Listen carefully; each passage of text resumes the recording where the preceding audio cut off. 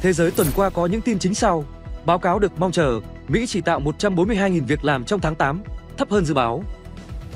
Fed nên hạ lãi suất bao nhiêu? Không chỉ Mỹ, phố Wall còn không yên về nền kinh tế Trung Quốc. Hàng nghìn tài xế đình công phản đối Grab và Gojek ở Indonesia. Ukraine cải tổ nội các giữa thời chiến.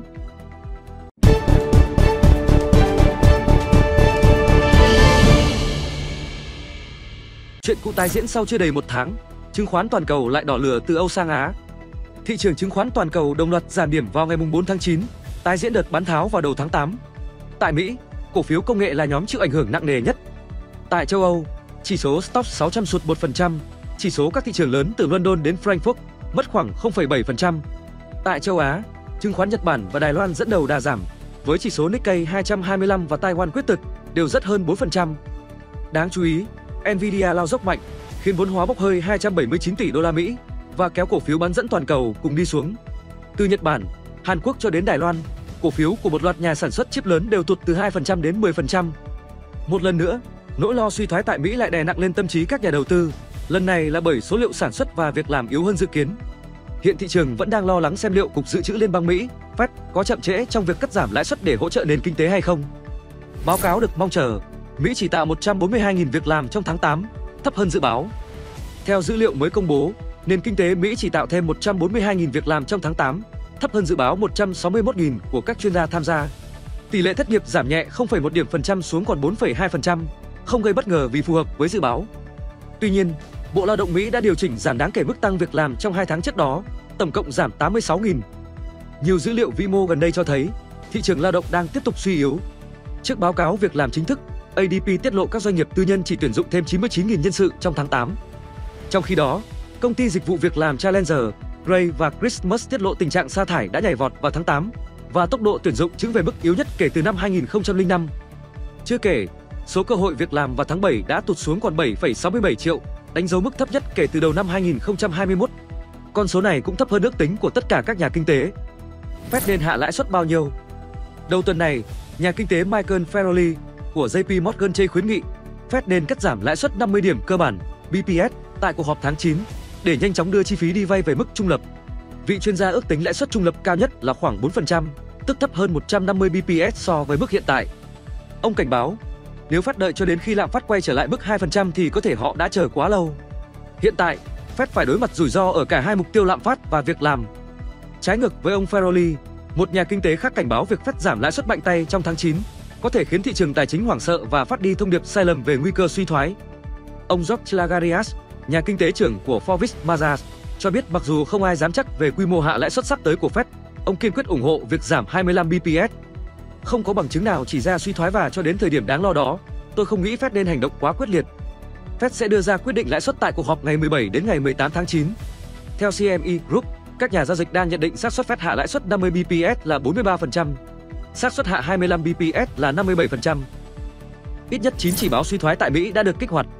Tuy nền kinh tế lớn nhất thế giới có vẻ vẫn trụ vững, rủi ro là không thể phủ nhận. Ông David Rosenberg, nhà kinh tế thuộc Rosenberg Research, cảnh báo nguy cơ suy thoái đã tăng lên. Trong số 20 chỉ báo mà nhà kinh tế này tổng hợp, 9 chỉ báo đã được kích hoạt, đơn cử như quy tắc SAM và đường cong lợi suất đảo ngược. Những chỉ báo vẫn chưa phát tín hiệu số nằm trong các lĩnh vực sản xuất và vận tải. Cho đến nay, các ngành này vẫn hoạt động tương đối ổn định. Hiện tại 45% các chỉ báo suy thoái mà chúng tôi theo dõi đã được kích hoạt. Kể từ năm 1999, điều đó chưa bao giờ xảy ra nếu nền kinh tế không suy thoái, ông Rosenberg nhấn mạnh. Không chỉ Mỹ, phố Wall còn không yên về nền kinh tế Trung Quốc.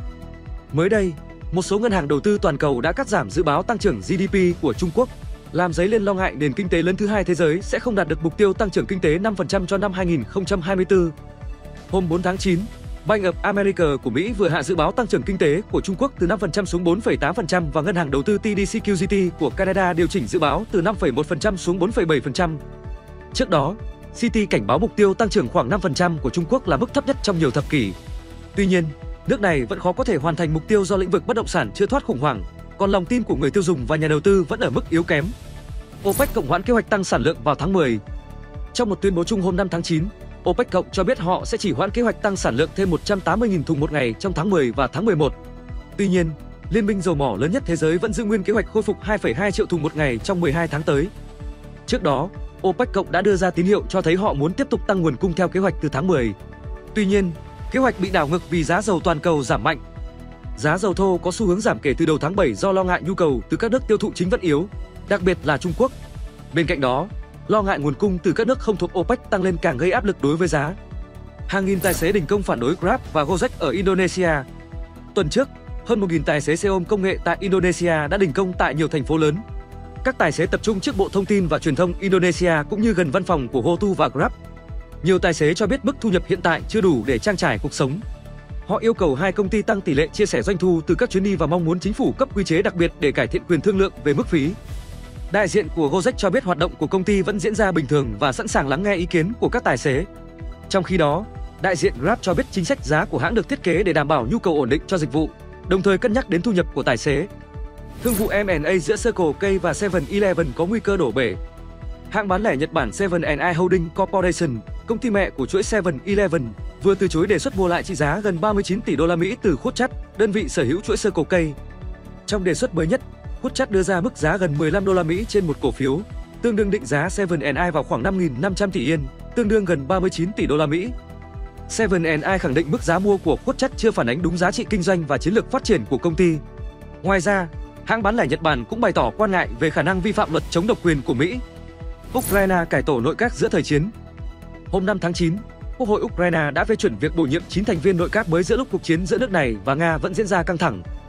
Nhà ngoại giao giàu kinh nghiệm Andriy Sibiha được bổ nhiệm làm ngoại trưởng Ukraine thay thế ông Dmytro Kuleba. Trong khi đó, ông Vitaly Kovan đảm trách cương vị Bộ trưởng Chính sách Nông nghiệp và Lương thực. Cựu phó tránh văn phòng Tổng thống Oleksiy Kuleba được bổ nhiệm là phó thủ tướng phụ trách khôi phục Ukraine kiêm Bộ trưởng Phát triển cộng đồng và lãnh thổ. Quốc hội cũng phê chuẩn Phó Thủ tướng Ola Stefanisina tiếp tục đảm nhiệm cương vị cũ, phụ trách giám sát quá trình Ukraine gia nhập Liên minh châu Âu, EU và Tổ chức Hiệp ước Bắc Đại Tây Dương, NATO. Đồng thời, bà Stefanisina còn kiêm nhiệm chức Bộ trưởng Tư pháp. Ông Mykola Tochitsky giữ chức Bộ trưởng Văn hóa và Truyền thông và ông Matvey Bideni đảm nhận cương vị Bộ trưởng Thanh niên và Thể thao. Bộ trưởng Công nghiệp Chiến lược là ông Herman Smetanin, trong khi bà Natalia Kanmikova giữ chức Bộ trưởng Cựu chiến binh. Bộ trưởng Bảo vệ môi trường và Tài nguyên thiên nhiên là bà Svitlana Hrinchuk. Trước đó, vào ngày 4 tháng 9, Tổng thống Ukraine Volodymyr Zelensky cho biết mục đích cải tổ nội các là tăng cường sức mạnh cho Ukraine ở các giai đoạn khác nhau,